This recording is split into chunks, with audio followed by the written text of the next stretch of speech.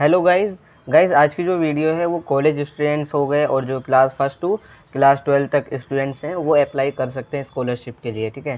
तो ये college student चाहे आप डीयू से हो, चाहे वो आज चाहे आप किसी प्राइवेट इंस्टीट्यूट से हो, ठीक है? आप चाहे पंजाब यूनिवर्सिटी से हो, चाहे चंडीगढ़ यूनिवर्सिटी से हो तो किसी से भी हो यूजी कोर्स से हो पीजी कोर्स से हो तो सबके लिए स्कॉलरशिप है H D F C bank की तरफ़ से है, ठीक है? तो मैं बता देता हूँ, इसमें स्कॉलरशिप में कितना आपको पैसा मिलेगा मतलब कितनी किस स्कॉलरशिप है और किन किन स्टूडेंट्स के लिए कितनी स्कॉलरशिप है, क्योंकि हर किसी की क्राइटेरिया अलग अलग है, ठीक है? सभी कोर्सेज़ के लिए हैं बी कॉम है प्रोफेशनल कोर्सेज़ भी हैं, ठीक है? तो मैं यहाँ पहले बता देता हूँ, आपको सबसे पहले एलिजिबिलिटी की बात कर लूँगा मैं अभी यहाँ पे। ये देखो ये जो H D H D F C bank India leading banking and financial service provider has introduce this scholarship as part of this flagship programme education crisis scholarship है, ठीक है? जो मतलब जैसे लास्ट ईयर कोरोना क्राइसिस था, ठीक है? तो उसके लिए भी है, जिस, जिनकी फैमिली पढ़ा नहीं सकते तो उनके ज़्यादा बेनिफिट है, उनके लिए। क्योंकि ज़्यादातर जो उन्हें ही ज़्यादातर स्कॉलरशिप देने का प्रयास किया जाएगा, इसमें लिखा भी है, मैं पढ़ पढ़ के बता भी देता हूँ। देखो, नीचे आ जाता हूँ मैं, नीचे थोड़ा सा स्क्रॉल कर देता हूँ। यहाँ पे जब आप आते हो, यहाँ पे H bank Parivartan E S C ठीक है? E C S scholarship for undergraduate programme ठीक है? एक तो अंडर ग्रेजुएट बच्चों के लिए है और एक पोस्ट ग्रेजुएट बच्चों के लिए, ठीक है? तो मैं यू जी कोर्सेज़ की पहले बता देता हूँ। तो यहाँ पे मैं एक चीज़ यहाँ पे देख लेता हूँ एलिजिबिलिटी ठीक है? एलिजिबिलिटी की मैं बात कर लेता हूँ, ये आपका पूरा खुल जाएगा।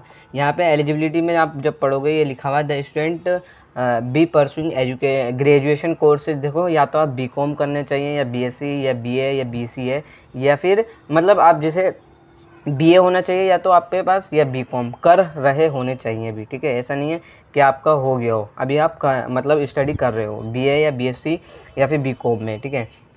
यहाँ प्रोफेशनल कोर्सेज के भी हैं बीटेक वगैरह हो गई एमबीबीएस हो गई एलएलबी हो गई बीआर हो गई नर्सिंग हो गई, ठीक है? और इन, इनका क्राइटेरिया भी अलग है, अभी मैं बता दूँ आप लोगों को। देखो the student pursuing diploma courses after class tenth देखो डिप्लोमा वाले बच्चों के लिए भी है, ठीक है? तो जिन्होंने टेंथ के बाद डिप्लोमा करा या ट्वेल्थ के बाद डिप्लोमा करा, वो भी अप्लाई कर सकते हैं, ठीक है? जैसे काफ़ी बच्चे क्या करते हैं, जब टेंथ पास आउट होते हैं तो डायरेक्टली डिप्लोमा करते हैं, जैसे काफ़ी कोर्सेज में चले जाते हैं इंजीनियरिंग के, ठीक है? अब मैं यहाँ तीसरा पॉइंट बात करूँ, देखो the applicant must have pass the previous qualifying examination with at least fifty five percent marks तो आपको जो लास्ट क्वालिफाइंग एग्जामिनेशन है, अगर आप देखो थर्ड ईयर के स्टूडेंट हैं किसी कॉलेज में, चाहे डीयू का किसी कॉलेज हो या नॉर्मल कॉलेज हो, ठीक है? आप थर्ड ईयर में हो तो आपकी जो लास्ट एग्ज़ाम है फॉर एग्ज़ाम्पल फोर्थ सेमेस्टर का या थर्ड सेमेस्टर का, जो उसमें 55 परसेंट आपकी होनी चाहिए कंपलसरी हैं। अगर इससे कम है तो आप अप्लाई नहीं कर सकते, ठीक है? तो लास्ट क्वालिफाइंग एग्ज़ाम आपका यही होगा। अगर आप फ़र्स्ट ईयर को अभी आपका फ़र्स्ट ईयर चल रहा है तो आपको तो देखो क्लास ट्वेल्थ ही माना जाएगा आपका, ठीक है? एनुअल फैमिली इनकम आपकी जो है, वो लेस देन होनी चाहिए, ढाई लाख से कम होनी चाहिए। एनुअल मैं बोल रहा हूँ, ठीक है? साल की। प्रीफ्रेंस विल बी गिवन देखो यहाँ पे जो प्रीफ्रेंस है, किन बच्चों को दी जाएगी, यहाँ लिखा भी है। Preference will given to those applicant who are facing a personal और फैमिली क्राइसिस ठीक है?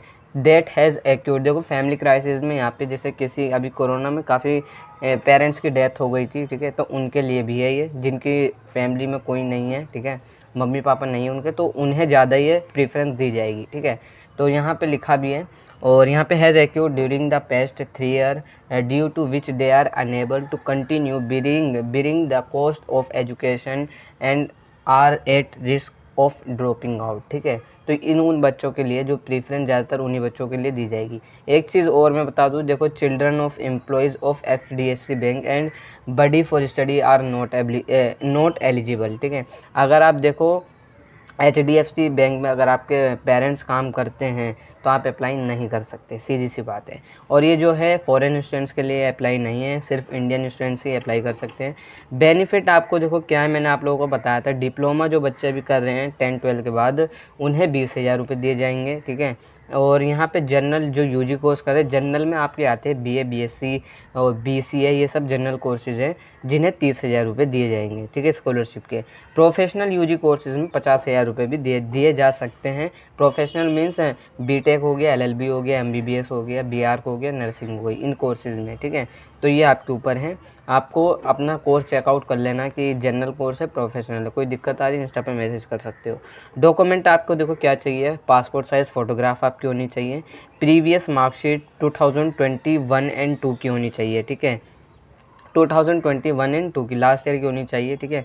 इन केस देखो, आपको रिज़ल्ट भी आ गया होगा। जो थर्ड ईयर के, उनका सेकंड ईयर का रिज़ल्ट आ चुका होगा और जो सेकेंड ईयर में अभी इस साल है, उनका फ़र्स्ट ईयर का रिज़ल्ट लगाना है, ठीक है? In case you don't have is don't have a marksheet for the 2021 session ठीक है 2021 and 22 session please upload the marksheet for आप उससे पहले की मार्कशीट भी अपलोड कर सकते हो, अगर आप पे 2021-22 की कॉपी नहीं है मार्कशीट नहीं है, ठीक है। आइडेंटिटी प्रूफ चाहिए आपका आइडेंटिटी प्रूफ में आपको होना चाहिए आधार कार्ड होना या वोटर आईडी या ड्राइविंग लाइसेंस जो भी है, आधार कार्ड तो कंपलसरी देखो आधार कार्ड तो सब पे होता है तो आधार कार्ड आप लगा सकते हो, ठीक है। और यहाँ पे जो है currently year admission proof currently year admission proof में अगर आप देखो सेकेंड ईयर में हो या थर्ड ईयर में हो तो आपने अभी अपनी एनुअल एग्ज़ाम अपनी एनुअल फ़ीस सबमिट करी होगी कॉलेज को दस हज़ार, बीस हज़ार, पंद्रह हज़ार, क्योंकि ये उसी हिसाब से मिलेगा। फॉर एग्ज़ाम्पल अब यहाँ पे जो जनरल कोर्स है, यहाँ तीस हज़ार रुपये लिखे हैं कि तीस हज़ार रुपये दिए जाएँगे। तो तीस हज़ार का मतलब ये नहीं है कि जो जिसकी फ़ीस दस हज़ार रुपये दिए, दस हज़ार रुपये, उसे तीस हज़ार रुपये दिए जाएँगे, ऐसा नहीं है। ठीक है? तो इसी वजह से एडमिशन प्रूफ के लिए मांगा जा रहा है। जिनकी दस हज़ार रुपये होगी तो उन्हें दस हज़ार दिए जाएँगे, ठीक है? तो ये भी है। और एडमिशन ऑफ़ लेटर इंस्टीट्यूट आपका होना चाहिए, ठीक है? फ़ी रिसिप्ट होनी चाहिए तो या तो एडमिशन लेट देखो आपकी फ़ी रिसिप्ट होगी कॉलेज की, या इंस्टीट्यूशन आईडी कार्ड होना चाहिए, या बोनाफाइड सर्टिफिकेट होना चाहिए, जो कॉलेज की तरफ़ से बन जाएगा। एप्लीकेंट बैंक पासबुक होनी चाहिए, क्योंकि इसी में आपको पैसे मिलेंगे, ठीक है? और चेक होना चाहिए आपका जो भी है। ये कंपलसरी नहीं है, बाकी इनकम प्रूफ होना चाहिए, आपके तीन में से कोई एक इनकम प्रूफ होना चाहिए। इनकम प्रूफ होना चाहिए तो आपके ग्राम पंचायत ने बना रखो या वार्ड काउंसलर ने, या सरपंच ने, अगर आप गाँव से बिलोंग करते हो। इनकम प्रूफ होना चाहिए तो आपका एसडीएम से, डीएम से, या फिर तहसीलदार से बना हुआ होना चाहिए, या एक एफिडेविट होना चाहिए। इनमें से तीन एक चाहिए, एक ही चाहिए। और प्रूफ ऑफ़ फैमिली, पर्सनल, यहाँ पे पर्सनल क्राइसिस देखो, अगर आपके कोई पर्सनल क्राइसिस हैं फैमिली क्राइसिस भी हैं कोई, ठीक है? आपके पेरेंट्स नहीं है जिन बच्चों के, या फिर डेथ हो गई थी जिनकी कोरोना में, या कोई फैमिली इशू चल रहा है तो आप उसे डॉक्यूमेंट के रूप में लगा सकते हो। कंपलसरी नहीं है, लेकिन अगर आप लगाते हो तो इससे बेनिफिट ये होगा कि एचडीएफसी जो स्कॉलरशिप प्रोवाइड करेगी उन्हें पता चल जाएगा, क्योंकि यहाँ पे डायरेक्टली उन्होंने बोला है प्रीफ्रेंस उन्हीं बच्चों को दी जाएगी, ठीक है? और अब मैं बात कर लेता हूँ हाउ कैन अप्लाई देखो, सबसे पहले हमें अप्लाई कैसे करना है? तो ये मैं अप्लाई के लिए आप इतना सारी डिटेल मत पढ़ो, मैं डायरेक्टली बताता हूँ कैसे अप्लाई करना है, ठीक है? अभी मैं बेक आ जाता हूँ। यहाँ पे देखो बेक आने के बाद सबसे पहले आपको क्या करना है, मैं एक चीज़ बता दूँ, आपको buddy for study dot com पर आना है वेबसाइट है एक बार मैं बता देता हूँ, ये स्क्रीन पे मेरी शो भी हो रही होगी भैया, ठीक है? जिसमें स्पेलिंग मैंने बोला कि B U double D Y four S T U D Y dot com ठीक है? जब इस पर आओगे तो आपको होम पे क्लिक करना है। देखो, मैं एक बार दिखा देता हूँ बेक करके। अब जब आप आते हो तो इस तरीके से डिटेल आपको शो होगी। तो आपको तो गाइज़ जब आप आओगे तो आपको इस तरीके से यहाँ पे होम पेज दिखेगा। होम पेज पर आने के बाद यहाँ पे आप क्या करना स्कॉलरशिप पे क्लिक करना। स्कॉलरशिप में आप देख लेना कौन कौन सी स्कॉलरशिप है। पॉपुलर देखो यहाँ कॉरपोरेट स्कॉलरशिप पे आप क्लिक करोगे तो यहाँ मिल जाएगा H D F C bank H D F C bank Parivartan E C S S scholarship E C S scholarship ठीक है? तो यहाँ जब आप आओगे तो नीचे स्क्रॉल करना स्क्रॉल करना। स्क्रॉल करने के बाद फिर यहाँ आप अपने देख लेना। अगर आप क्लास फ़र्स्ट क्लास ट्वेल्थ में हो तो यहाँ अप्लाई कर लेना। और अगर आप हाँ और अगर आप देखो यहाँ पे क्या नाम है क्या नाम है, अगर आप ग्रेजुएशन कर रहे हो तो यहाँ अप्लाई नाउ कर देना, और अगर आप पोस्ट ग्रेजुएशन कर रहे हो तो यहाँ अप्लाई नाउ कर देना। तो मैं यहाँ अप्लाई नाउ पे क्लिक करके दिखा देता हूँ, ठीक है? अब मैं अप्लाई नाउ कर रहा हूँ तो सबसे पहले आप लोगों को रजिस्टर करना है यहाँ पे वेबसाइट पे बड़ी फॉर स्टडी के, ठीक है? यहाँ अपना नाम और यहाँ अपने लास्ट नेम देखो लास्ट नेम कंपलसरी नहीं है अगर आपका नहीं है। फॉर एग्जांपल किसी का नाम होता है स्नेहा तो स्नेहा फिल कर देना। किसी का स्नेहा कुमारी होता है तो कुमारी भी फिल कर सकते हो। ठीक है? मोबाइल नंबर आप अपना देना वैलिड ईमेल आईडी होनी चाहिए आपकी। पासवर्ड आप स्ट्रॉन्ग क्रिएट करना। जब आप सब क्रिएट कर लेते हो तो उसके बाद बेक आ जाना। ठीक है? अब मैं बेक आया तो फिर से यहाँ पे क्या करना? अप्लाई नाव पे क्लिक करना। ठीक है? मैं अप्लाई नाव पे क्लिक करता हूँ। यहाँ मैं गूगल अपनी ईमेल आईडी से रजिस्टर कर रखा मैंने। तो गैस जब मैं यहाँ पे लॉगिन करता हूँ तो यहाँ इस तरीके से लिखा आएगा you have successfully login okay कर दूँगा मैं। अब देखो, यहाँ मैं जब लॉगिन करता हूँ तो यहाँ पे इंस्ट्रक्शन लिखी होगी सबसे पहले। इंस्ट्रक्शन आप दोबारा से पढ़ सकते हो, ठीक है? तो यहाँ नीचे लिखा होगा स्टार्ट एप्लीकेशन या लॉग आउट तो आपको यहाँ स्टार्ट एप्लीकेशन पे क्लिक करना है।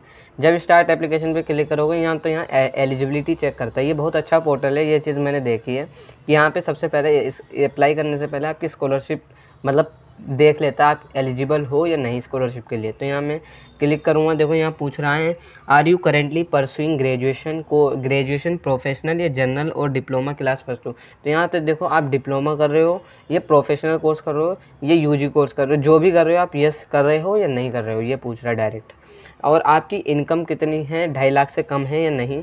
तो अगर ढाई लाख से कम नहीं है तो नो कर देना, मेरी ढाई लाख से कम है, मैं यस कर देता हूँ। अगर आप नो करोगे ना तो यहाँ पे आप एलिजिबल नहीं हो, सबसे पहली बात।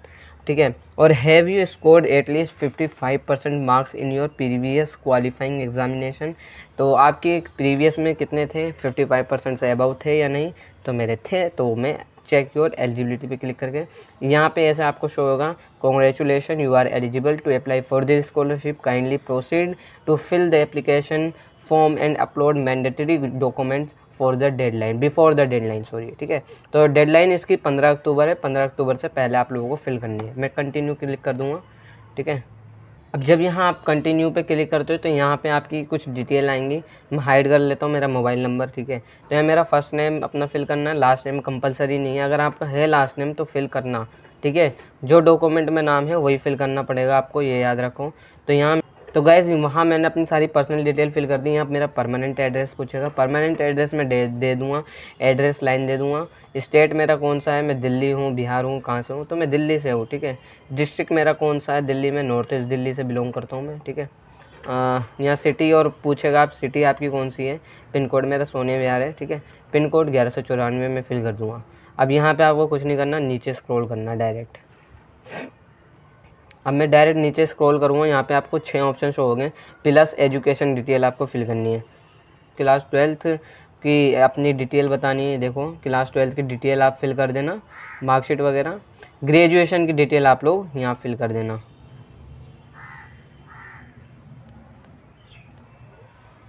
जैसे ग्रेजुएशन में आपकी क्लास पूछे ग्रेजुएशन अभी आप क्या कर रहे हो? ग्रेजुएशन के अंदर, ठीक है? तो मैं तो देखो बी ऑनर्स पॉलिटिकल साइंस कर रहा हूँ। या जो भी आपकी डिग्री बता देना कोर्स की ड्यूरेशन बता देना। कोर्स की ड्यूरेशन कितनी है? मेरी थ्री ईयर है। डिग्री कोर्स थ्री ईयर का ही होता है, ठीक है? डिग्री कौन सी कर रहा हूँ? मैं देखो, यहाँ पे बी एल एल बी नहीं कर रहा हूँ मैं बी ऑनर्स कर रहा हूँ, मैं देख लूँगा। अब गाइज़ अगर आपको यहाँ कोर्स नहीं है तो यहाँ आप अदर पे क्लिक कर सकते हो। अदर डिग्री में यहाँ अपना कोर्स का नाम लिख देना। मेरा बी ऑनर्स पॉलिटिकल साइंस है, ठीक है? जो भी आप बता देना पॉलिटिकल साइंस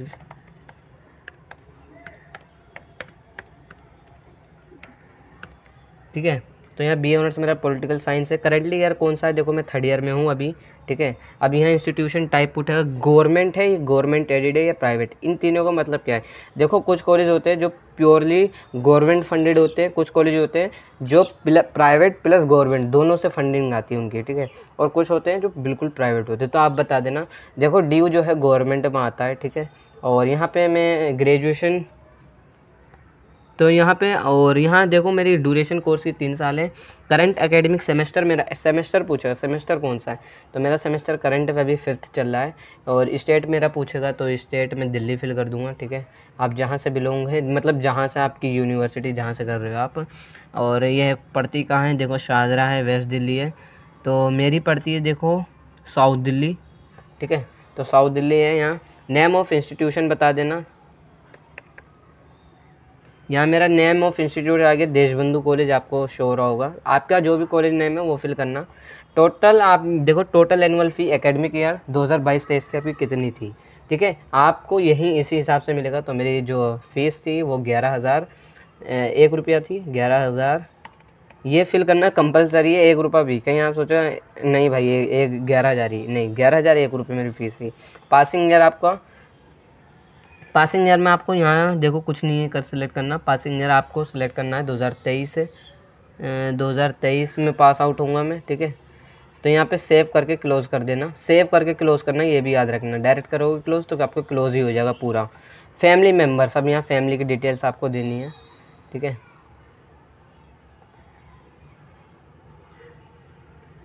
अब यहाँ देखो फैमिली मेंबर में please edit detail of two family member if there is no income for family member please enter zero ठीक है, यहाँ एड फैमिली करके यहाँ अपने फैमिली का नाम नंबर आपकी फैमिली के साथ क्या रिलेशन है गार्जियन है पेरेंट्स है मदर हैं, जो भी है, बता देना। सेलेक्ट ऑक्यूपेशन कुछ क्या काम करते हैं, ठीक है, वो भी बता देना। अब गाइज़ यहाँ पे देखो डॉक्यूमेंट पर आप क्लिक कर देना डॉक्यूमेंट डाउनलोड कर लेना। आपको बता दिया जाएगा डॉक्यूमेंट में क्या क्या है। ठीक है?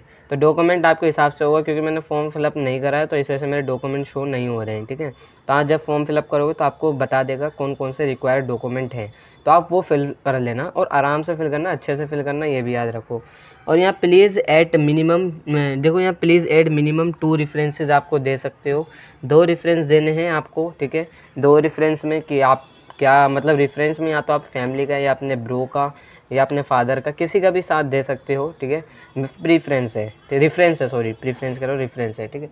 मैं नीचे आया था रिफरेंस के बाद बैंक डिटेल ये बैंक डिटेल क्यों है? देखो, पैसा आपका यहीं आएगा। Add bank detail add bank detail करके अकाउंट होल्डर नेम अपना दे सकते हो, अपने फादर का दे सकते हो। अकाउंट नंबर आप दे सकते हो आईएफसी कोड और ब्रांच नेम और बैंक का नाम, ठीक है? और मोर अबाउट योर सेल्फ यहाँ पे आप कुछ भी कर सकते हो। देखो do you do you have a disability disability किसी तरह की आप मतलब डिसेबल डिसेबल हो किसी तरीके से, ठीक है? तो नो, नहीं कर दूँगा मैं। इफ़ यस प्लीज़ है। नहीं है तो मेरा नहीं कर दूँगा मैं। If yes please specify disability category आपको बतानी पड़ेगी। तो यहाँ मैं एन कर दूँगा, मैं नहीं हूँ, ठीक है? और what kind of crisis are you facing या तो देखो death of earning family member देखो, होता है, अभी कोरोना में काफ़ी, ये इसी वजह से लाई गई है क्योंकि कोरोना में काफ़ी डेथ हुई थी, ठीक है? तो उनकी वजह से, या जॉब या बिज़नेस लॉस इन फैमिली और एक्सपेंडिचर ऑन मेडिकल ट्रीटमेंट ठीक है? तो जो मेडिकल ट्रीटमेंट हुआ होगा आपके किसी फैमिली मेंबर का, उस वजह से। या कोई नेचुरल डिज़ास्टर है, भूकंप है, जैसा अभी साउथ क्या नाम है नॉर्थ की बात करूँ तो अभी काफ़ी डिज़ास्टर आए हैं भाई, ठीक है? तो उसमें आपका कुछ हुआ या कोविड नाइन्टीन इफेक्टेड है, ठीक है? तो आप कर सकते हो। नहीं है कुछ तो एन ए कर देना directly student relationship with the family member वो इज़ फेसिंग क्राइसिस व डिक्रीज ठीक है? तो यहाँ कौन डिग्री वो कर रहा है तो लिख देना। ईयर ऑफ़ क्राइसिस आपका कब था? तो बता देना, देखो 2020 था 2021 था। और कोज ऑफ़ डेथ क्या था? नेचुरल है एक्सीडेंट है कोविड नाइन्टीन है। अगर आपके किसी फैमिली मेंबर की डेथ हुई है, या कुछ भी हुआ है, ठीक है? तो यहाँ आप सब सिलेक्ट करके, सब फिल करके, यहाँ पे बाय सबमिटिंग पे यस ये टिक ये भी टिक और ये भी टिक और ये भी टिक। टिक करके यहाँ प्रीव्यू करके आप फाइनल सबमिट कर देना। जब फाइनल सबमिट कर दो, उसके बाद आपका रिज़ल्ट आ जाएगा जनवरी, फरवरी तक आपको पेमेंट आ जाती है। एक चीज़ मैं बता दूँ, स्कॉलरशिप में एक नॉर्मल स्टूडेंट मत अप्लाई करना, क्योंकि नहीं मिलेगा, कोई फ़ायदा नहीं है। हाँ अगर आपकी फैमिली क्राइसिस थी या फिर कुछ हुआ है आपके उसमें तो डेफ़िनेटली आप इसको, स्कॉलरशिप को फिल करो, क्योंकि इसमें डॉक्यूमेंट भी आपसे मांगेगा, ठीक है? तो आप फिल कर दो। बाकी आप लोगों की क्वेरी है तो मुझसे फ्रीली इंस्टाग्राम पे पूछ सकते हो। इंस्टाग्राम का लिंक मैंने डिस्क्रिप्शन में दे रखा है, ठीक है?